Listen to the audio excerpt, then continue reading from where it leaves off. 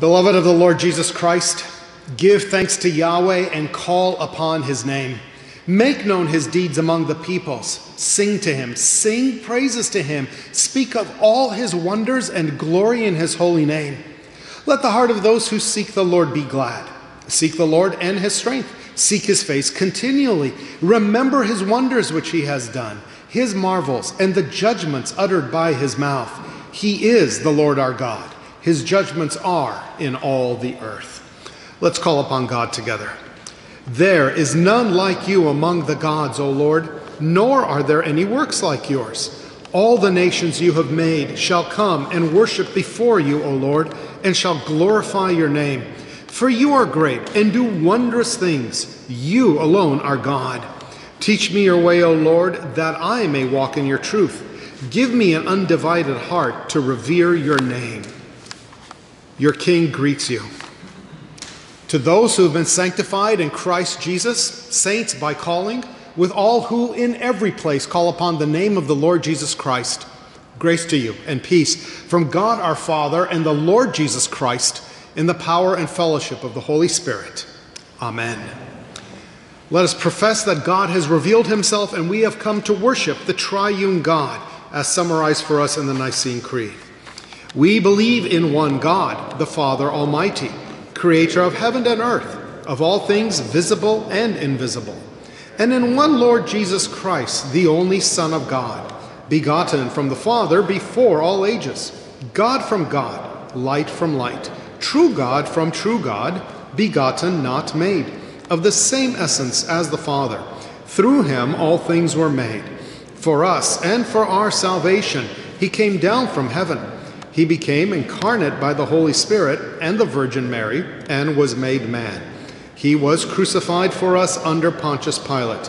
He suffered and was buried. Third day he rose again, according to the Scripture. He ascended to heaven and is seated at the right hand of the Father. He will come again with glory to judge the living and the dead. His kingdom will never end.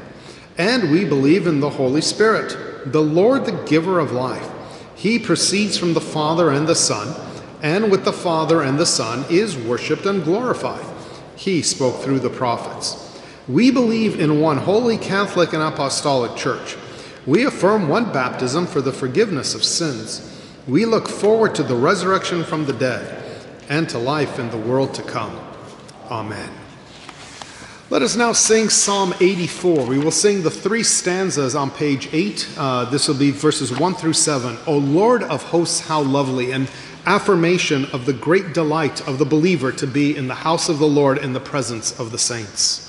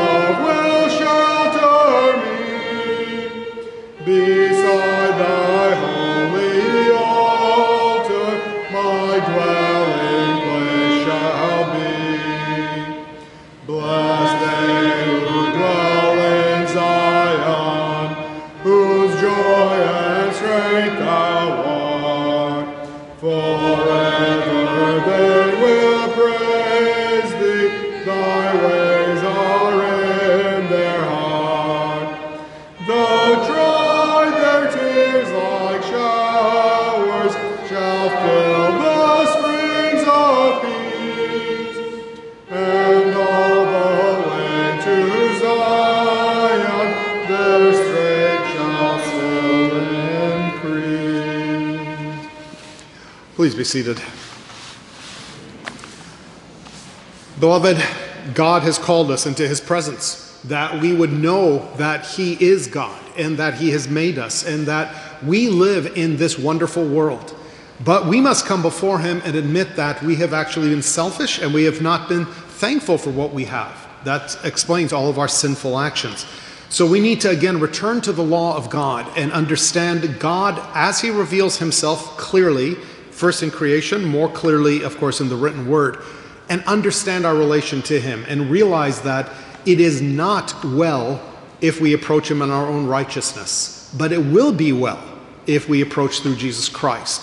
So let us learn to set aside our self righteousness from the law and learn to rest in Jesus Christ. So let us again remind ourselves of the use and purpose of the law of God. God's law displays his holiness and perfection. It is given as my only sure guide to knowing his will and pleasing him. But as a fallen man, I cannot obey the law. I turn to the law to see my sinfulness, that I may be humbled and confess my sins before God, because he declares, as I live, I take no pleasure in the death of the wicked, but rather that the wicked man turn from his way and live. I will not be justified by the works of the law. So let us then hear the law to know where we have fallen short. And God spoke all these words, saying, I am the Lord your God who brought you out of the land of Egypt, out of the house of slavery. You shall have no other gods before me. You shall not make for yourself a carved image, or any likeness of anything that is in heaven above, or that is in the earth beneath, or that is in the water under the earth. You shall not bow down to them or serve them, for I, the Lord your God, am a jealous God, visiting the iniquity of the fathers on the children to the third and the fourth generation of those who hate me, but showing steadfast love to thousands of those who love me and keep my commandments. You shall not take the name of Yahweh your God in vain, for the Lord will not hold him guiltless who takes his name in vain. Remember the Sabbath day to keep it holy. Six days you shall labor and do all your work, but the seventh day is a Sabbath to the Lord your God. On it you shall not do any work, you or your son or your daughter, your male servant or your female servant, or your livestock, or the sojourner who is within your gates. For in six days the Lord made the heaven and the earth, the sea, and all that is in them, and rested on the seventh day. Therefore, the Lord blessed the Sabbath day and made it holy. Honor your father and your mother, that your days may be prolonged in the land which the Lord your God is giving you. You shall not murder. You shall not commit adultery. You shall not steal. You shall not bear false witness against your neighbor. You shall not covet your neighbor's house. You shall not covet your neighbor's wife, or his male servant, or his female servant, or his ox, or his donkey, or anything that is your neighbor's. Several things come out as we read the commandments. Uh, first, the negative.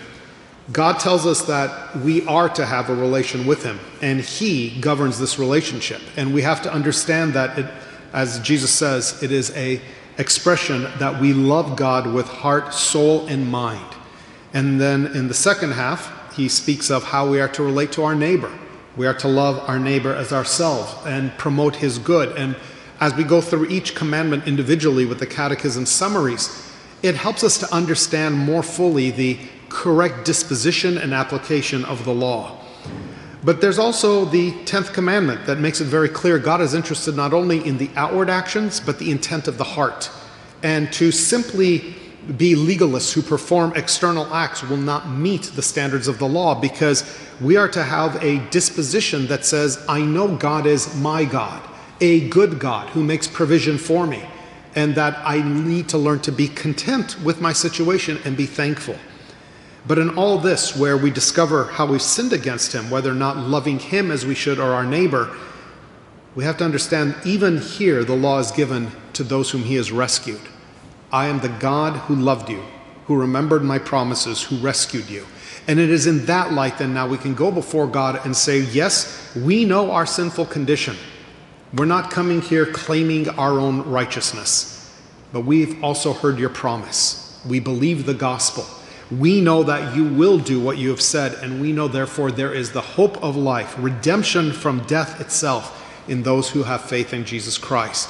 So let us go before God and confess our sins with a heartfelt confidence in the deliverance already accomplished on the cross by Jesus Christ. God has sent his Son Jesus in the likeness of my sinful flesh as an offering for my sin. In doing this, God demonstrates his electing love for me, in that Christ died for me, the sinner. That no one is justified by the law before God is clear, for the man who by faith is righteous shall live. I don't have a righteousness that is my own from my obedience to the law, but that which is through faith in Christ, the righteousness which comes from God on the basis of faith. I believe that I am justified by grace alone, through faith alone, in Christ alone, apart from my own works and attempts to follow the law. We've put a lot of weight on this idea of faith, so it's good for us to understand what is faith. So the Catechism summarizes it. Beloved, what is faith? True faith is not only a sure knowledge by which I hold as true all that God has revealed to us in His Word, it is also a wholehearted trust which the Holy Spirit works in me by the gospel, that God has freely granted, not only to others, but to me also, forgiveness of sins, eternal righteousness, and salvation. These gifts are purely of grace, only because of Christ's merits.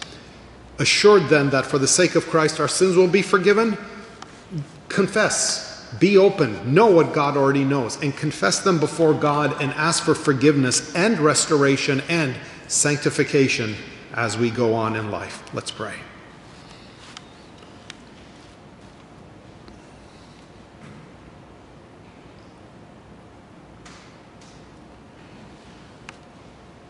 We come before you, our God knowing that you are a holy God and that you hate sin. And we are fools who sin against you and expect good to still come for us, that we are going to outsmart you or somehow manage to undo our wickedness. We pray that by your Spirit you will give to us a right understanding that there is no hope in ourselves and there's no work we can do to fool you or turn away your wrath. You require perfect righteous obedience. You demand sinners to die and pay for their debts. Our only hope is if a substitute is sent to stand in our place, to fulfill the righteousness the law requires, and to die the sinner's death the law requires.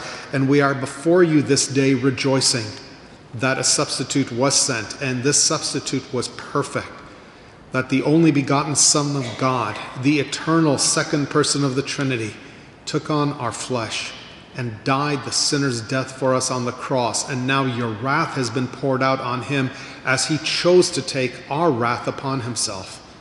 And because of this, the gospel has been now been preached to us, and we are able to rejoice. Help us, therefore, to have a true living faith, confident in Jesus Christ, and to believe all things work together for our salvation. May we therefore come before you, call you God our Father, thank you, and praise you. Let us also remember that we belong to your family. Your Spirit dwells in us, and we are now called to have a zeal for good works and righteousness, a love for you with heart, soul, and mind, and a love for our neighbor as ourselves. So we pray that you will work in us this transformation, this conformity to Christ that you have willed and you've promised to do. And we ask as these things are done that our worship will be even more thankful, more zealous, and our love for you and for our neighbor more full and more desirous of service. So we thank you, O God, that you did not give to us what we deserved, but you've given us life through Christ Jesus our Lord. Amen. Beloved, let us stand and hear that summary of Scripture that declares our new condition in Jesus Christ. Beloved, to you who by faith have confessed and repented of your sins and trusted in Jesus' merit alone, I declare in the name of Christ and by the authority of his word, your sins are forgiven, the record of your transgressions is blotted away, and your everlasting salvation is hid now in Christ who will resurrect you in the last day. And so we respond by singing the closing verses of Psalm 51 asking God not only that He would forgive, we've already asked that and He has granted it, but now that we would be conformed to His image and that He would build up the real Jerusalem, which is the church of Jesus Christ. So, Psalm 51, and this is roughly verses 10 through 19 Gracious God, my heart renew.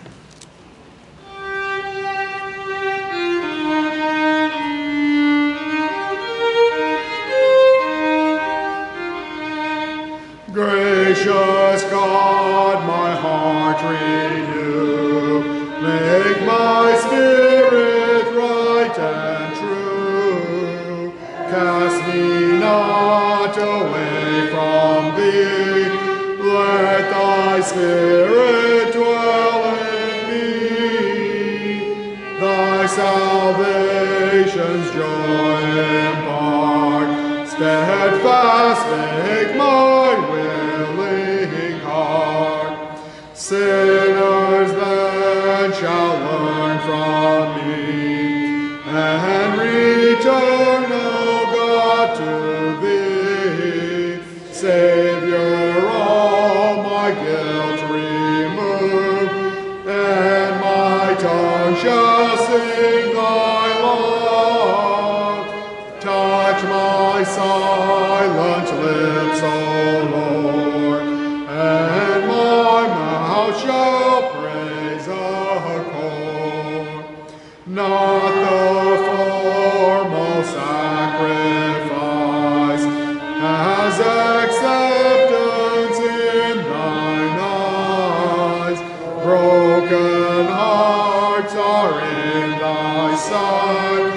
more than sacrificial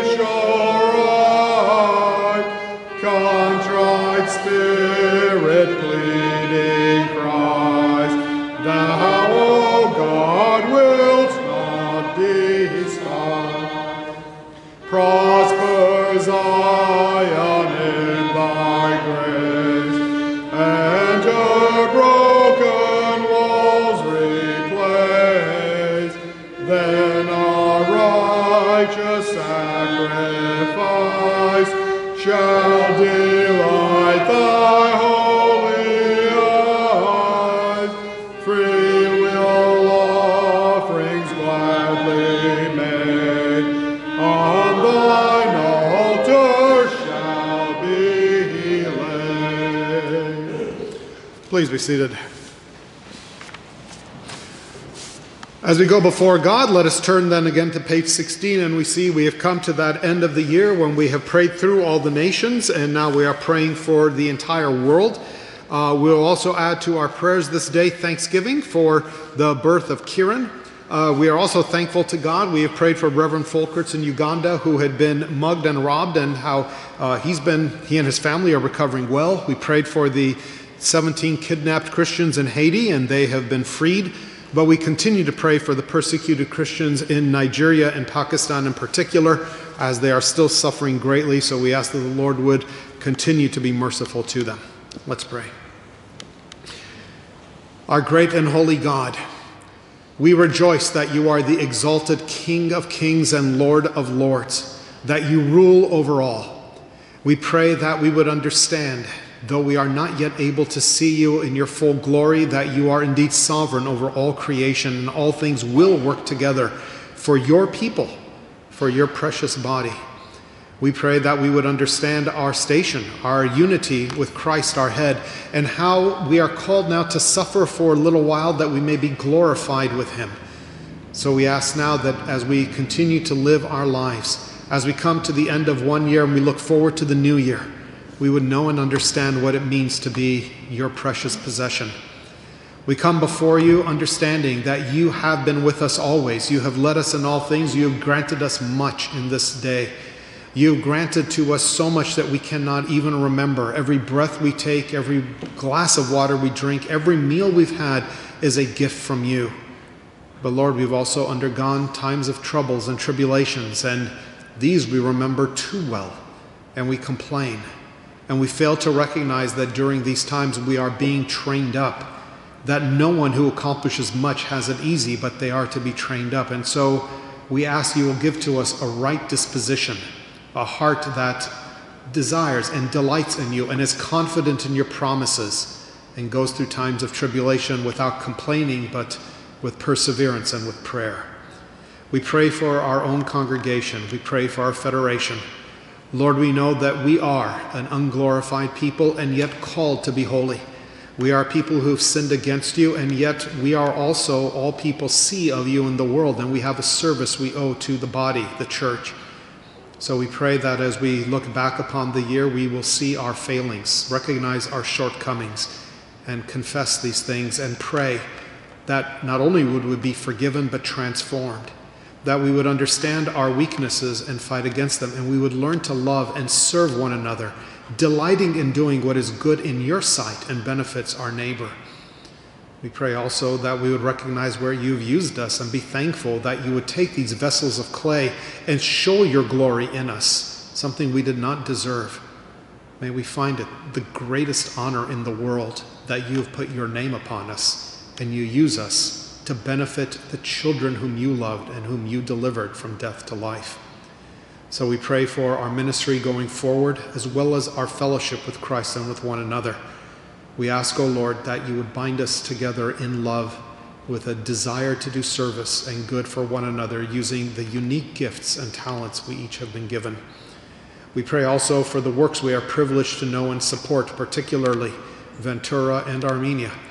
We ask that these works would be blessed, that they would become more fruitful, that we may look upon them and see your handiwork and rejoice in the many things you will do through them in the years to come. This time we also remember to thank you for the blessings that we have seen. We thank you for the Folkerts being kept healthy and safe and restored despite the troubles that they went through. And we rejoice to see that the kidnapped missionaries have been restored. But during this time, we know that while all things will work together for good and you will bless your people, we also know many of your people suffer greatly, and the things we hear coming out of some nations are terrifying, especially what Christians are undergoing in Nigeria, and we cry for them because we cannot be there to help them.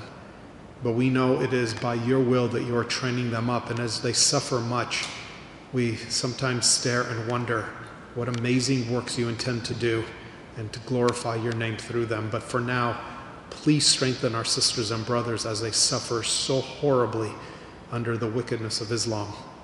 We pray the same, especially for the very poor and outcast believers of Pakistan. Lord, we know that there is much more suffering ordained for them, and we are troubled, and we cannot do anything but pray. So give to us a zeal to pray, and we ask that you will give to them the strength to persevere and to glorify your name in the midst of their enemies, that even their enemies would be ashamed of what they are doing and turn to you. And we pray for the whole world. Lord, we ask that this coming year will not be like last year, that it will be a better year for evangelism and missions. We pray that as we ask you to remember many peoples that are in darkness, like large tens, hundreds of millions of the Hindi who are caught up in the lies of reincarnation and other foolishness that this will be a year that we shall see you pour out your grace and call many to yourself. We ask that we should see many tribes and tongues and nations and peoples no longer stumble about blindly in idolatry, but that these believers, whom you will call to yourself, will put us to shame in their zeal. And we will thank you for giving to us new sisters and brothers around the world. So we come to you this day and pray for particular needs also. We have members who are sick. We ask that you'll give them bodily healing. We have those who are troubled for family members who are absenting themselves from church or who are falling away. We pray that they should yet see and soon you restoring our fallen sisters and brothers to faith, calling them back to yourself. We pray for those who are sick and we pray for, especially for the King family as they are concerned for Stephen's brother. We ask, O oh Lord, in these things that we should see your healing hand and your power, and that you give to us a heartfelt confidence, even as we look forward to our own mortality, knowing that while we are away from the body, we will be with you forevermore. And Lord, we thank you that you have given to Chris and to Mary Rose this new child, and now we pray for this and all the children of the church.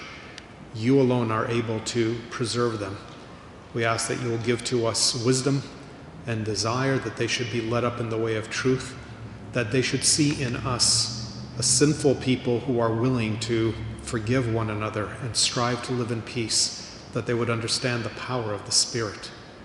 We ask that you would be with this church and mature us so that more and more we will have the mind of Christ and that the words that we speak will not sound hypocritical to anyone who hears it, but that shall see behind it all a people who love others, even their enemies, and pray for their persecutors, so that many more will be saved. And now we come before you confident that your promises are true for us, and we are now adopted, your children, and we can call the Creator, enthroned on high in glory, our Father, as we pray. Our Father, who art in heaven, hallowed be thy name. Thy kingdom come, thy will be done, on earth as it is in heaven. Give us this day our daily bread, and forgive us our debts as we forgive our debtors. And lead us not into temptation, but deliver us from evil. For thine is the kingdom, and the power, and the glory forever. Amen.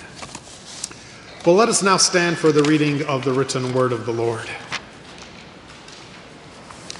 Let us hear then the written word from the Old Testament, Isaiah 40, verses 1 and 2. Comfort, comfort, my people, says your God. Speak tenderly to Jerusalem and cry to her that her warfare is ended, her iniquity is pardoned, that she has received from the Lord's hand double for all her sins. Isaiah 43, 1 through 2. But now, thus says Yahweh, He who created you, O Jacob, He who formed you, O Israel, Fear not, for I have redeemed you. I have called you by name, you are mine. When you pass through the waters, I'll be with you, and through the rivers, they shall not overwhelm you. When you walk through fire, you shall not be burned, and the flame shall not consume you. Hosea 11, 8 and 9. How can I give you up, O Ephraim? How can I hand you over, O Israel? How can I make you like Admah? How can I treat you like Zeboim? My heart recoils within me. My compassion grows warm and tender. I will not execute my burning anger. I will not again destroy Ephraim, for I am God and not a man, the Holy One in your midst, and I will not come in wrath. Turning to the New Testament, John chapter 6, 39 and 40. This is the will of him who sent me, that I should lose nothing of all that he has given me, but raise it up on the last day. For this is the will of my Father, that everyone who looks on the Son and believes in him should have eternal life, and I will raise him up on the last day. John 10, 27 through 30. My sheep hear my voice, and I know them, and they follow me. I give them eternal life, and they will never perish, and no one will snatch them out of my hand. My Father who has given them to me is greater than all. No one is able to snatch them out of my Father's hand. I and the Father are one. John 15, 13 through 14. 15. Greater love has no one than this, that someone lay down his life for his friends. You are my friends if you do what I command you. No longer do I call you servants, for the servant does not know what the, his master is doing, but I've called you friends. For all that I have heard from my Father, I've made known to you. Romans 3 9 and 10. For we have already charged that all, both Jews and Greeks, are under sin, as is written. None is righteous, no, not one. Romans 8 14 through 17. For all who are led by the Spirit of God are sons of God. For you do not receive the spirit of slavery to fall back into fear, but you've received the spirit of adoption as sons, by whom we cry, Abba, Father. The Spirit Himself bears witness with our spirit that we are children of God.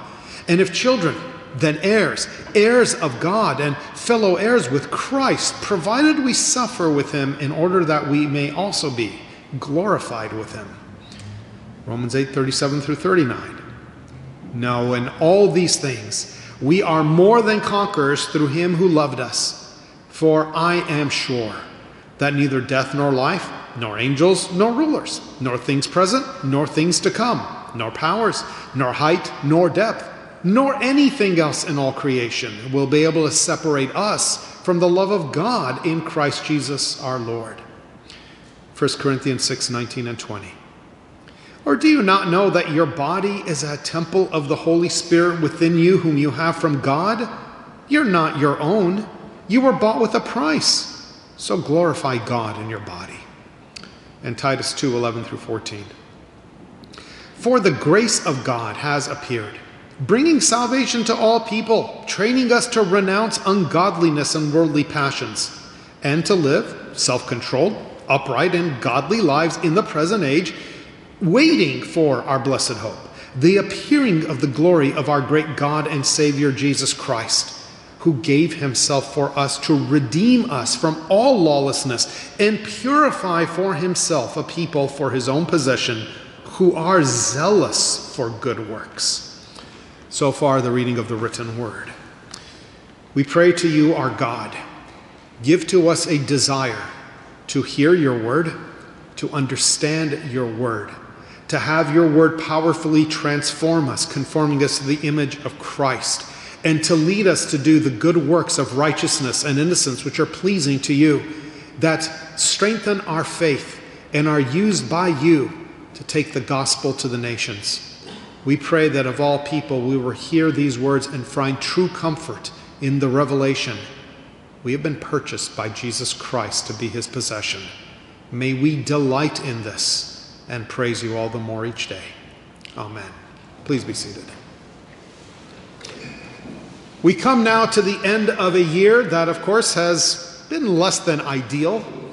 And the worst thing for us to do right now would be to only hope that next year will be better, because that is a false hope. There will be some good things, some bad things, but that is not where we should have our hope, and that is not where we should find our comfort.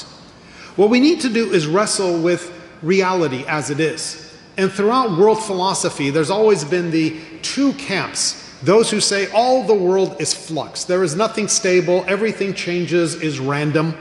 And those who say no, all is static, everything is established, and it's going to go to a fixed end. And the reason philosophers argue about this is that they're both true. But in philosophy, there's no way to reconcile it. Either it's chaotic and random, and so in a way, it really doesn't matter what you do, because in the end, nothing matters.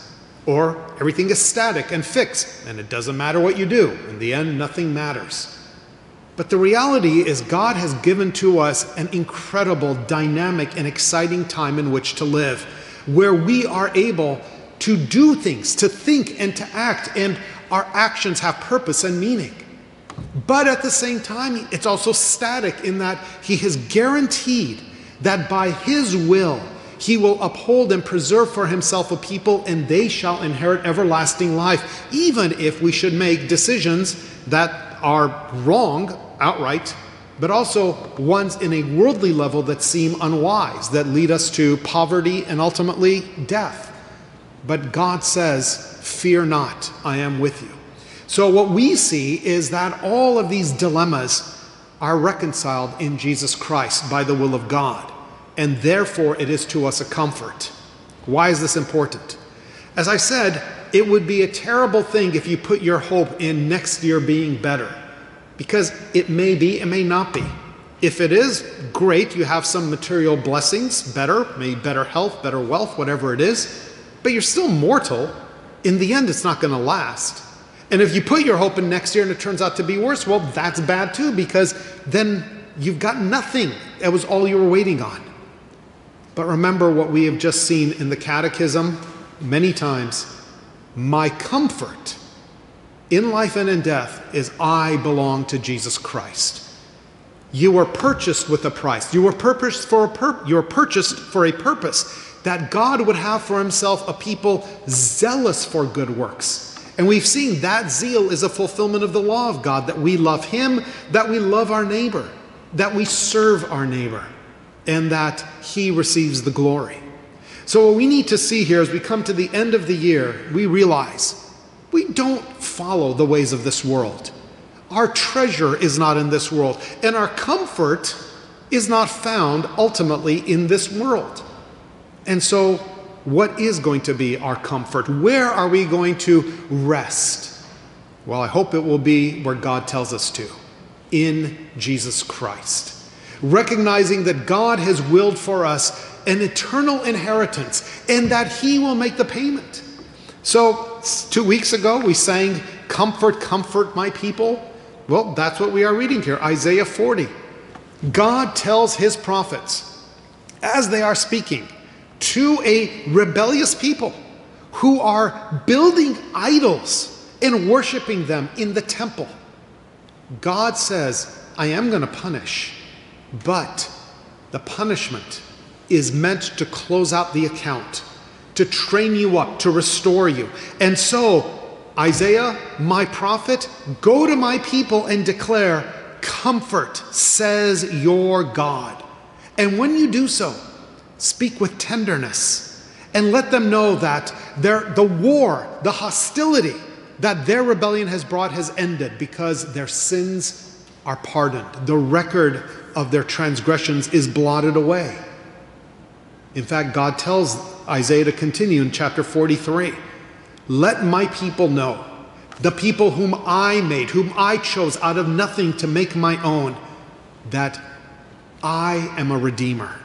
There is nothing for them to fear, that they belong to me, and therefore their future, their life is my interest.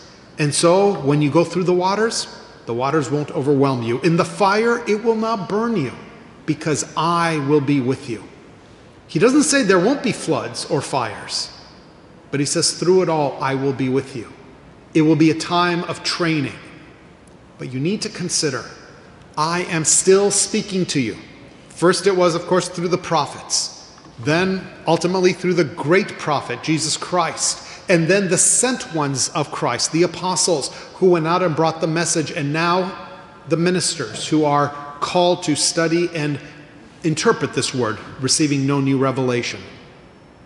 God wants you reconciled to Himself.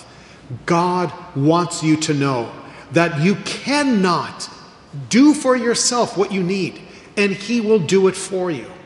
And so, through the midst of the trials and tribulations that are all going to come to us, Prophet Hosea gave this word to Israel I cannot give you up. I cannot come against you in wrath and execute judgment. Because I am God, I'm not a man. I love too much. As much as my holiness and my justice requires ultimate payment from you, I love you too much to take it from you. And so your sin will be paid for, but I will pay it myself. I will not come against you in wrath. I will come to you with words of mercy. I will come to you and bring you grace. And when I do, it will be effective. It will be perfect. Now, we always tend to think of punishments as being effective, but not love, because all of us have done good for others, loved others, and people have not cared, betrayed us. But boy, when you punch someone in the face and break their nose, it stays broken for a while. If you shoot them, they stay dead. So that's how we tend to think. But God says, when I love, that remains forever. And so, Jesus, as he is ministering to a sinful people as the day of redemption has come, tells them this is the will of God the Father, of Yahweh, eternal God, that I will lose nothing of those who are my inheritance, those given to me. I will raise you up on the last day. It is the Father's will. If you look to the Son, if you hope in me, everyone who believes will have eternal life.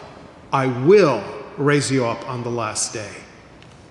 God testifies, I'm not a man. My love remains forever, and my love is effective, and my love delivers you, and you will obtain the blessing. I will raise you up on the last day. And then Jesus continues on, John 10. If the Father has given you to me, you will hear my voice. You will not stay dead in the grave. Though there is a rebellious, sinful people who will not hear, but not for my elect. Even if they are the valley of dried bones, when my prophet speaks, they will rise up. And now, when the minister speaks the word of the prophet, The Spirit of God continues to go forth, and so my sheep hear my voice, and they will follow me. And when they do, I give them eternal life. And those to whom I give eternal life, these ones will never perish, and nobody is going to be able to trick them or cause them to fall away. No one will snatch them out of my hand. And it's not just my hand that upholds them, but the Father's hand upholds them because I and the Father are one. And how will you know this is good for you? Because you're my friends. And what does it mean that you are my friends? I will lay down my life for you. Now, this is something that you know when you've had a good friend, especially a long term friend. You've done things just because it just struck you. My friend would like this. My friend would enjoy it. And so you do it. And literally, when you've done these, you have not wanted or expected anything back. It never occurred to you because you did it out of love. But none of you died for someone without thinking of it. But here's Jesus saying, My love for you is such that I will lay down my life for you. And when he uses the word friend, he does so to express not his superiority, but his humility that he considers you his equal in this relationship. What a remarkable thing. I want you to think of me as your friend, and I will be open with you. I will not hide things from you. So I tell you my will. A servant does not know the will of his master, he has no right to. He simply follows orders, but a friend knows what delights his friend. And Jesus says, I've opened my heart to you, I've revealed that to you and I will die for you in, as part of this relationship. This is not natural. Naturally, you see in Romans 3 9, all have sinned and fall short of the glory of God. There is no one righteous, Jew or Greek, slave or free, male or female. No one has done what is right in the sight of God. All are condemned naturally to death. But to you, who I am speaking with, this is not you. You are the people who have been made alive through the preached word by the Spirit of God and now are led by the Spirit to be the, the descendants of God, the sons of God. You were not given a spirit to transform you from dead to slave, but one that made took you from death to son of God in Christ. So you cannot fall back into the confusion and the fear of the world not knowing the future living in a world of flux that has no way of having a positive outcome.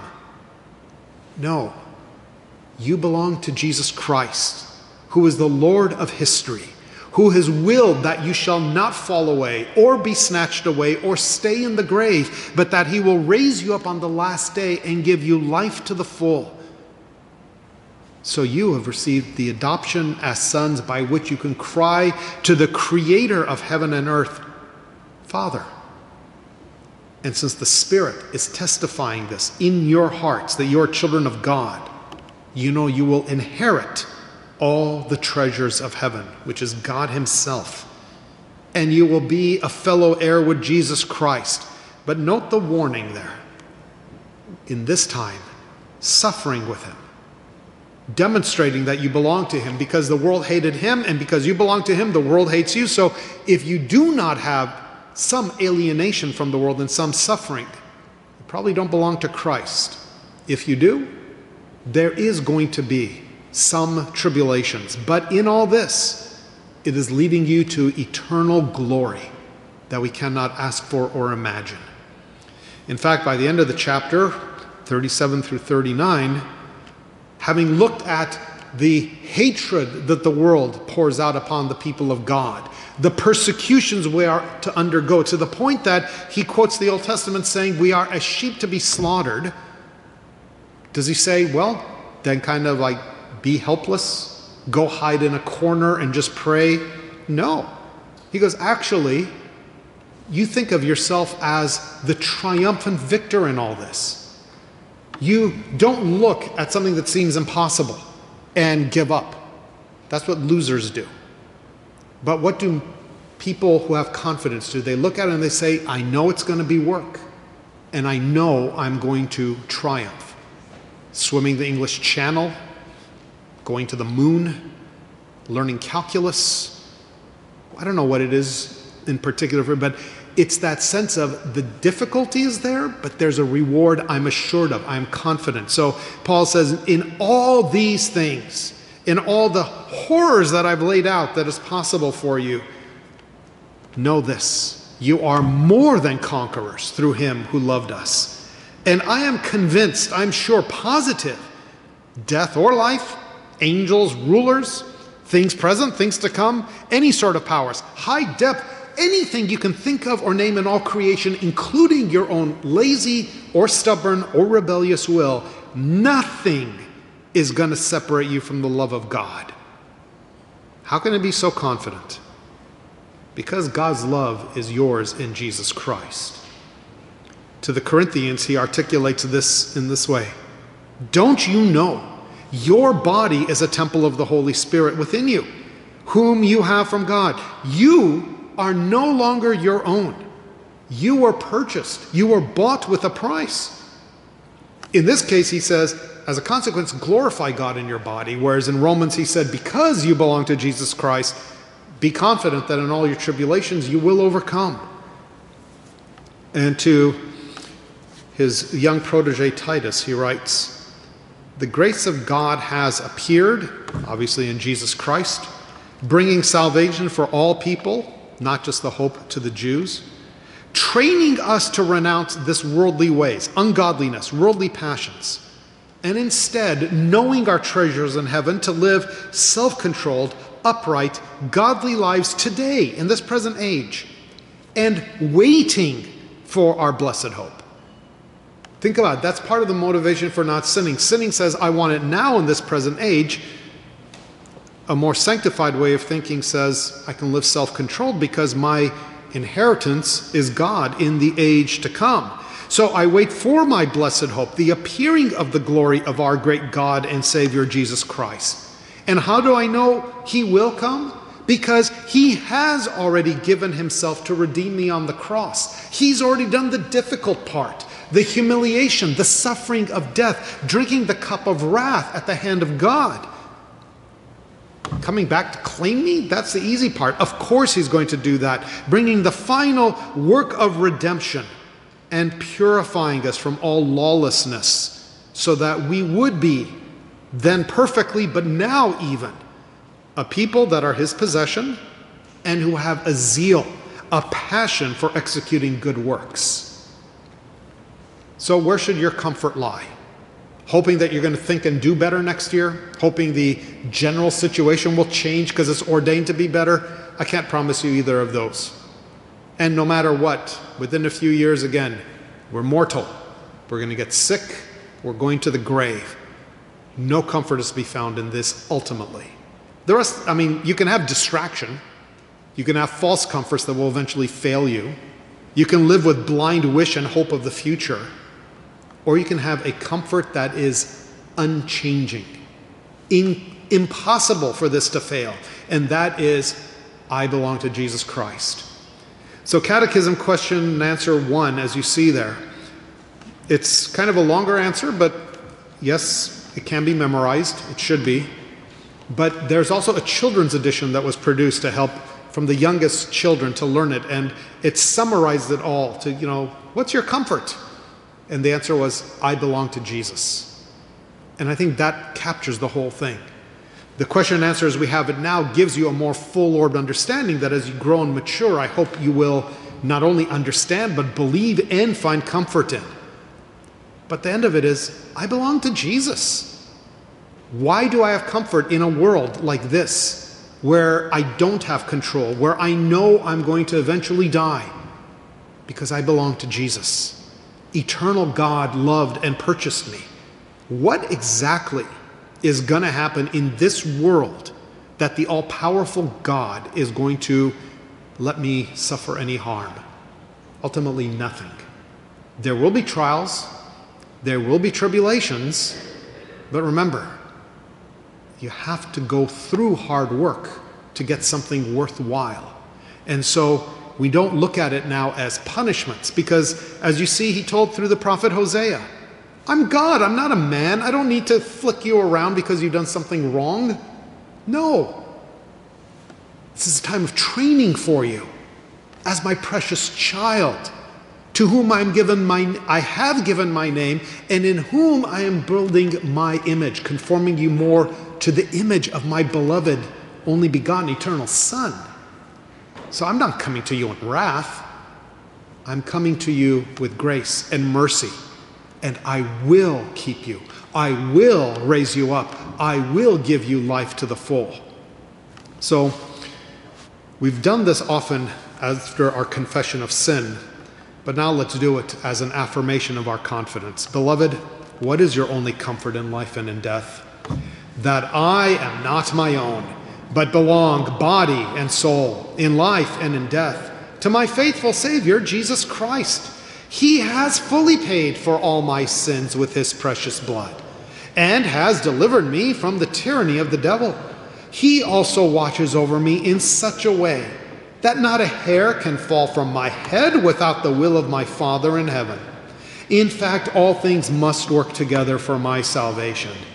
Because I belong to Him, Christ, by His Holy Spirit, also assures me of eternal life and makes me wholeheartedly willing and ready from now on to live for Him. So, what's your comfort? I belong to Jesus. He purchased me.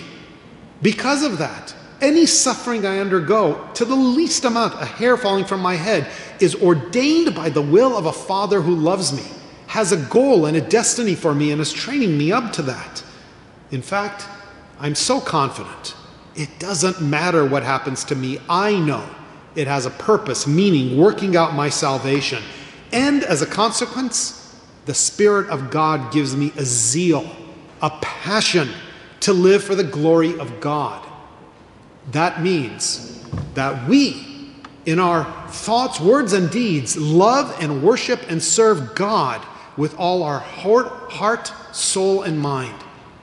It also means that there's an outworking of this. We love our neighbor as ourselves. We desire his good to the extreme that Paul says we even pray for our persecutors. And in this, as we've seen also in the Catechism summary, God receives the glory. I am more assured his spirit is working in me. The world has to glorify him as they see his power, and it will cause many to see the light and come to find life in Jesus Christ. So, beloved, this is it. As this year closes out, we go to the new year. This is where our comfort lies. Everything else is secondary. I belong to Jesus Christ. That is your great hope, and it is sure. And that's what's so beautiful about it. As we pray, I will read the prayer listed for the New Year's. Almighty and most gracious God, as we close out this year, we thank you for all your tender mercies bestowed upon us during the whole course of our lives and especially during this past year. Accept our thanksgivings for all your blessings. Fill our hearts with humility and love, with gratitude and trust. For all these blessings, we offer you the sacrifice of praises, and we acknowledge that through your great goodness and help, we are enabled to live our lives in peace, even though we have offended you in countless ways. O merciful God, Pardon all who sincerely repent of their sins. Grant that while our years are passing away, we may work out our salvation with fear and trembling in the time you give us. Enable us to press onward, always toward the end of our heavenly calling, even that blessed eternity which Jesus Christ, your Son and our Lord, has prepared for us. Amen. Well, beloved, let us then continue by singing the second half of Psalm 84, affirming the great joy that belongs to those who are in the house of God. And as we see in Revelation, the church is the bride of Christ and the house of God. Let us stand and sing the second half of Psalm 84.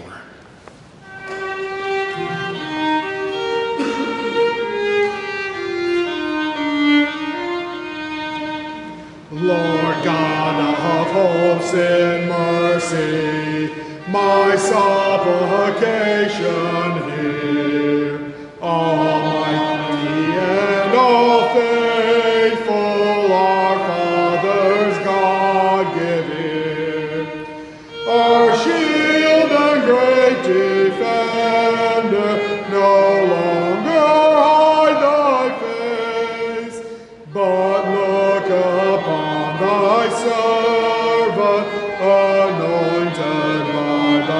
praise.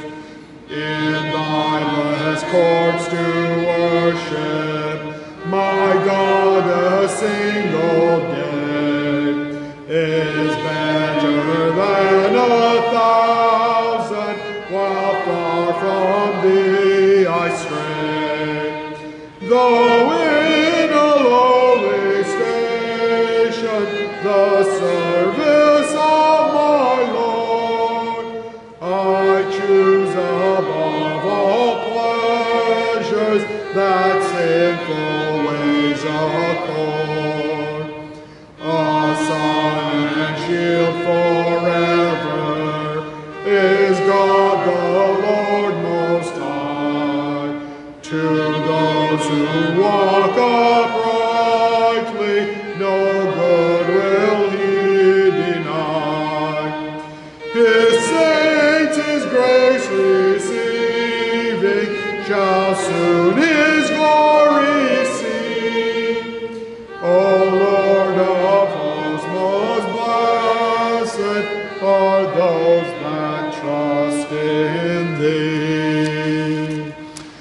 seated. We are blessed and we are weak, so we don't sometimes do not believe it, and God knows our weakness. And so the Lord's Supper is given to testify to us of the reality of the presence of God and of God being our Father, that He is caring and nourishing us. And so as we come to the table of the Lord, it is not meant to be come, uh, accepted flippantly by anyone, but you are saying, Yes, I renounce the things of this world, and my hope is to be found in Jesus Christ. I am coming affirming I don't want comfort from anything other than Jesus Christ. And so, beloved, as you are called to come to the table, do not come if you do not believe. Do not come if Christ alone is not your only hope in life and in death. But if he is, as weak as you may feel, as much as you have sinned, this is the time to come in order that your faith would be strengthened as God works in us a mystery, testifying, You really are my children. I do love you. Be assured that through, as we said, go through the rivers of water, I'll be with you, and in the fire, I will keep it from burning you. This is a testimony of that great promise. We read in the scriptures that the Lord Jesus, in the night in which he was betrayed, took bread. When he had given thanks, he broke it and said, This is my body, which is for you. So do this in remembrance of me. In the same way, he took the cup also after supper, saying, This cup is the new covenant in my blood. Do this as often as you drink it in remembrance of me. For as often as you eat this bread and drink the cup, you proclaim the Lord's death until he comes. Therefore, whoever eats the bread or drinks the cup of the Lord in an unworthy manner shall be guilty of profaning the body and the blood of the Lord. Now, for all who are living in rebellion against God and in unbelief, this holy food and drink will bring you only further condemnation. If you do not yet confess Jesus Christ and seek to live under his gracious reign, we ask you to abstain. Nevertheless, for any of you who've confessed your sins, affirmed your faith in Christ alone, the promise is sure. Whoever eats my body and drinks my blood has eternal life and will not come into condemnation. Understand, you're invited to this sacred meal not because you are worthy in yourself by the works that you have done, but because you're clothed in Christ's works, his merits, his perfect righteousness. So don't allow the weakness of your faith or your failures in the Christian life to keep you from this table. It's given to you because of your weakness and because of your failures to increase your faith by feeding you with the body and blood of Jesus Christ. And as the Word has promised us God's favor, our Heavenly Father has added this conf- confirming sign of His unchangeable promise. So come, believing sinners. The table's ready. Taste and see that the Lord is good. Almighty and everlasting God, who by the blood of your only begotten Son has secured for us a new and living way into the Holy of Holies, cleanse our minds and hearts by your word and spirit, that we, your redeemed people, drawing close to you through these holy mysteries, may enjoy fellowship with the Holy Trinity through the body and blood of Christ our Savior. Our ascended Savior does not live in temples made by hands, much less in bread and wine. We know he is in heaven, where he continues his ministry interceding on our behalf. But through the mystery of the supper, by your own word and spirit, These common elements are now set apart from common use. While remaining bread and wine, these sacred elements nevertheless become so united to the reality they signify that we do not doubt but joyfully believe. We will receive in this meal nothing less than the crucified body and shed blood of our Lord Jesus Christ. So now we come to you, our Heavenly Father, and the table you have set to receive the gift of God for our souls. Amen. Beloved, that we may be nourished with Christ, the true bread from heaven. Let us lift up our hearts to Christ Jesus, who is our advocate, who is seated at the right hand of his heavenly Father, firmly believing all of his promises, not doubting we really will be nourished and refreshed with his body and blood, this by the mysterious work of the Holy Spirit, as surely as we will receive physically bread and wine in remembrance of him. Beloved, lift up your spirits and hearts on high. We lift them up to the Lord. Please come forward to receive the elements and return to your seats, and we'll partake together.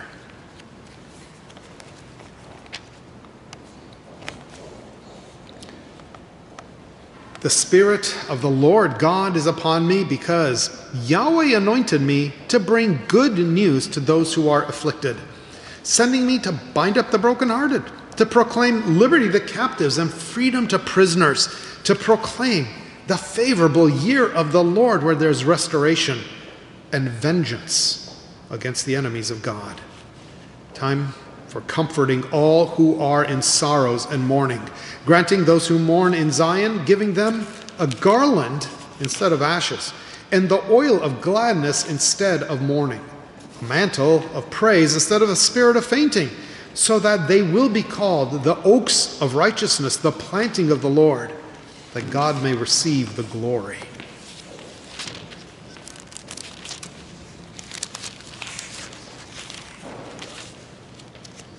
Surely our griefs he himself bore, and our sorrows he carried.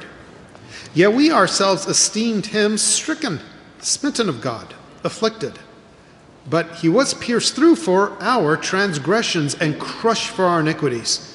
The punishment for our well being fell upon him. By his scourging we are healed. All of us, like sheep, go astray, each of us turning to his own way and the Lord caused our sins to fall upon him. So now, every one of you who thirsts, come to the waters, and even if you have no money, come buy and eat. Buy wine and milk without money and without price.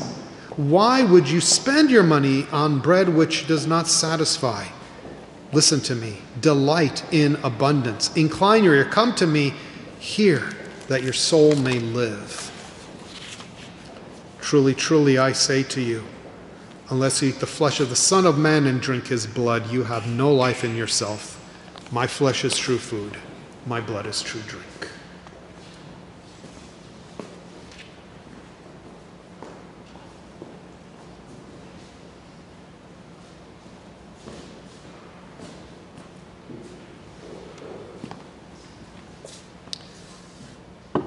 Jesus came to bring comfort hope and life to people who were in darkness.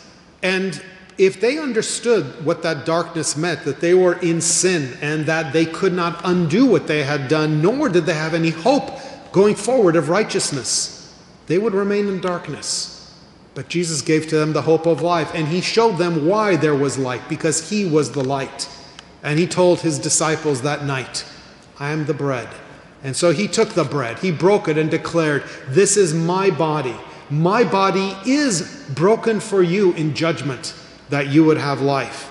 So, beloved, take, eat, remember, and believe Christ's body broken for you.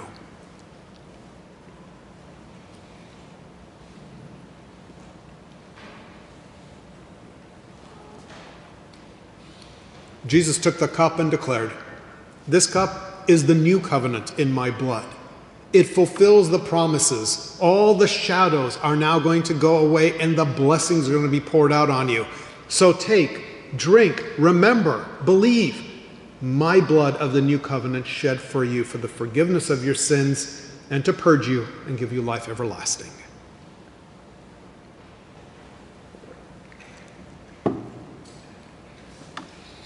Our gracious Heavenly Father, we acknowledge the great mystery of this holy feast. Although we are unworthy to share this meal with you, it's by your invitation and dressed in Christ's righteousness that we've come boldly into the Holy of Holies, and instead of receiving wrath, we've received your pardon.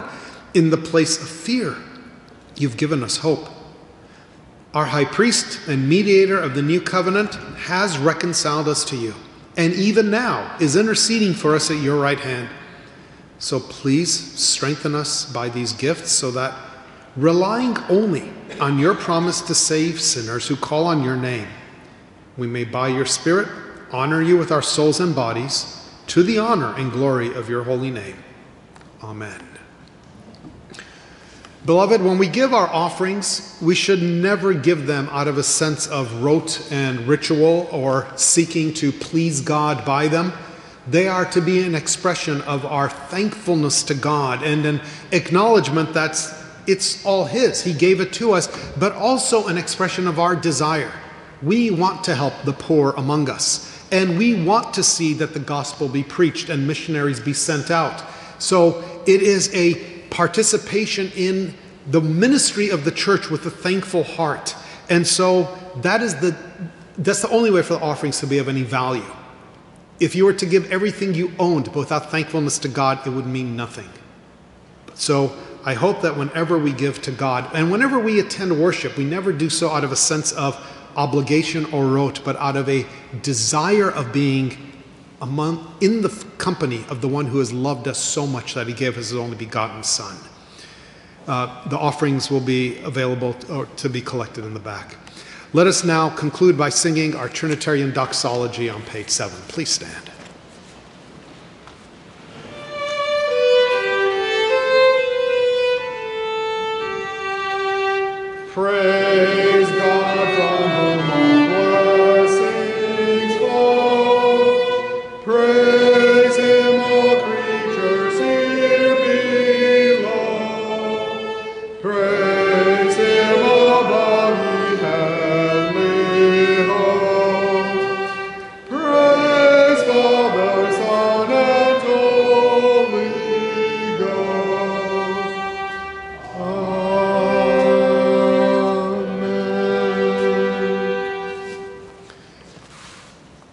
Closing benediction of the year, words that you have heard many times. Believe that is the promise of God for you.